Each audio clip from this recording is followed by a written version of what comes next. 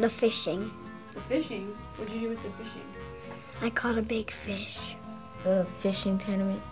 How many fish did you catch? Um, 12. Wow, very wow.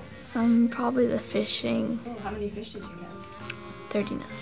Whoa! Um, I really liked the Texas Legends game Yeah. because me and Lily got to do the halftime show and we dressed up and we went out there and we did like this runway thing.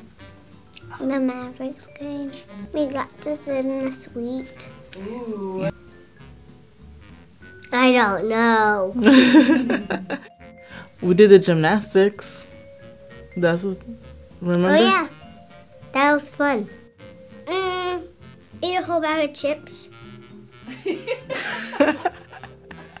Where did you do that? In a restaurant. You're full of baloney. You're full of beans.